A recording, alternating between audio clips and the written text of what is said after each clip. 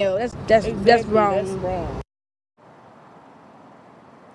That's all people could say was that's wrong. Other people that I spoke to say the video was very painful to watch. Brian? Yeah, absolutely, Shakira. You know, we've seen a lot of these road rage incidents happen over the, uh, the Carolinas in the past year. What do police say you should do if you find yourself in a road rage situation? So, Brian, to avoid heated encounters on the roads, authorities are saying if somebody is angry, just leave them alone. If somebody is tailgating you, simply move over. But if somebody is following you and you know that they're following you, don't go home, go to the nearest police station. Guys? All right, yeah, good advice there. If you catch yourself in a road rage situation, Shakira speaks. Thanks tonight. And of course, we will continue to follow this story both on air and online. You can also learn more about Forte's extensive